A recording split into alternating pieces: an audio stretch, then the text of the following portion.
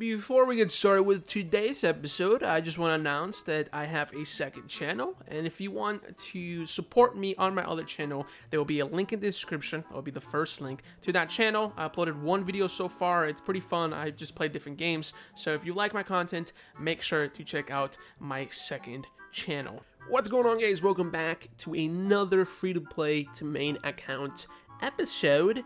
This episode, we are going to be doing a lot of fishing. So we're going to be going back into fishing. As you can see, we are level 1 fishing, aka tier 4. And we want to get roughly to level 10 to tier 5 by the end of the episode, just because we want to level up fishing. Uh, it's one of my favorite activities to do in this game, therefore I'm going to be leveling it up. I know it's been quite some time since last episode, as you guys can probably tell, there's a lot of things going on currently in the world, in the economy. Uh, so I'm back, let's just continue doing these episodes, and let's get started with this one. The last couple episodes we've been focusing on making some silver, and we're currently sitting at 285,000 silver. Now, I logged into this account roughly around 15 minutes ago and I purchased myself a full tier 4 fishing gear as well as tier 3 baits 20 of them and about 3 seaweed salads. So we are going to be doing fishing but I think to start off the episode we are going to do something that we tried doing last episode where we kind of failed at and that is doing the tier 5 expedition for the tier 5 sigil. Last time we did a tier 4 and kind of forgot that you all can only do one a day, uh, but now we're going to do the tier 5 for that tier 5 sigil, so let's go ahead and go into that exp expedition. We do have our 4.1 gear set, and uh, yeah, let's go ahead and go. Alright, that's that. Let's go ahead and I think I'm going to sell the tier 5 royal token. I don't have to keep them for anything. So there is one problem. I have seen that tier 4 tokens sell maybe a little bit more than tier 5 for some reason. Maybe um, that's just uh, a thing that I saw in the market a long time ago. However, there's a lot of people playing this game, guys. Like, I logged in, every city is filled with players. Even Caerleon was filled with a bunch of players. Um, so if we come here and check, we'll see that we can sell this for 24,000. So I am kind of correct. You can actually sell tier 4 sigils pretty much the same price as a tier 5 sigil. Sometimes probably a bit more. If we check right here for a royal sigil, and let's go to tier 4. So this is 26,000 and tier 4 is 31,000. So I was correct. So technically doing tier 4 sigils or tier 4 expeditions is kind of better than tier 5. But hey, we did tier 5. What can we do about it? Let's go ahead and gear up for fishing. Like I said, we're just going to focus on tier 5 yellow zones for the moment. Later on, we'll go into the red zones. And my plan is to just go around in a loop and just keep fishing as much as possible. Hopefully, there's not a lot of people fishing around in this zone. This is the closest one to Theft so there might be people fishing. But yeah, let's just go ahead and start fishing, and I'll kind of just report to you guys uh, every once in a while. I am completely forgetting something, and that is the fishing journals. There were a lot of comments on the last episode saying, hey, buy the journals, you can make more money. And I always forget to buy journals every single time I gather or fish. So I'm to go buy, I'm to guess between five and six tier four fishing journals, fill them up, and then sell them for a profit. So if we look at, I think it's fishing journals? Journals, fisherman journals. I'll, I'll buy the journals and we'll go back to fishing. It's been over an hour of fishing, and this is all that we completed. We did four of the Fisherman Journals, and this is the whole entire loot that we got from that one hour of fishing. It's a lot, and if we check our destiny board, we are level 9. I did use a little bit of learning points here and there just to help myself out a little bit, but we are level 9. We're going to eat all our fish, or as much as possible until we get to level 10. We are going to be using the extra three learning points that we need to get to level 10 just by the 20% mark right here. So we're not wasting too much fame. We do have a lot of learning points and once we get premium, we're going to be getting even more. So I'm going to go ahead and start eating as much of this fish as possible, get to uh, you know the highest level possible. I'm only going to use learning points to get to level 10 and then after that, I'm just going to keep eating them and get the levels naturally. That was a lot of eating. As you can see, we no longer have our fish. The only fish that I'm keeping are my tier 3 clams as well as my tier 5 clams.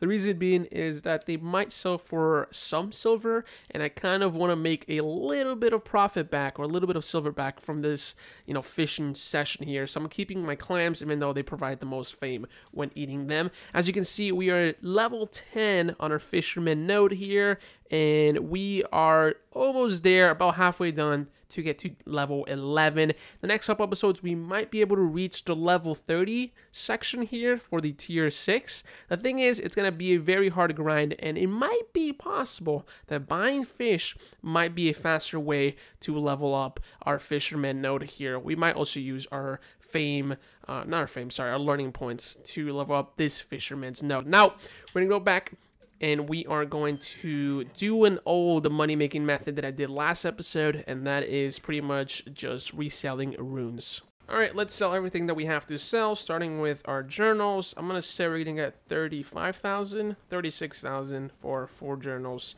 And there we go. Clams are going to give us 15,000 for the 8 tier 5.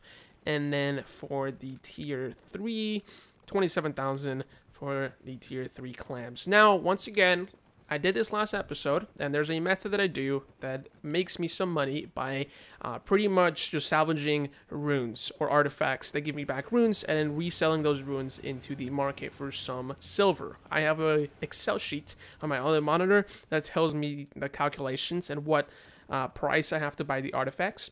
I don't want to share the Excel sheet because this is a money making method that I do on my main account, but basically buy artifacts cheap salvage them, get the runes, sell the runes back into the market. So let's go ahead and do that. So we had 292,000 silver, and after buying a bunch of these artifacts, let's go ahead and come here and salvage them, and we will see that we'll be getting a bunch of runes, and let's actually check how much money we'll be making. So we have 787 tier 6 runes, and we're going to sell them for around 4,700 each, and I bought them at an average of around 4,400. So it'll be about 300 profit per rune that I buy, as you can see. And let's go ahead and actually go into this, sell this, and we could sell it for a bit more if we do a sell order, but just for the video, I'm just going to sell it off to a buy order. So as you can see, we are at 299,000 silver. I'm going to continue doing this because as you can see, the tier 6 artifacts are selling for 4,500-ish, and I can sell the runes for 4,700, making myself 300 silver per artifact that I buy. Uh, so I'm going to continue doing this until I buy as much as possible that are cheap. If I run out, I might go into another city, so we'll see. Alright, so we ended off with 318,000 silver here in Thetford. I'm actually going to go into Fort Sterling and do the same method. And I have to buy an ox over there, which is going to cost me like, what, 3,000, 4,000 silver. And do that method here because, you know, it might, might as well do it. And then maybe go around the whole entire continent and try doing this method in every single city to see how much silver we can make in just however long it takes me to fill all the orders.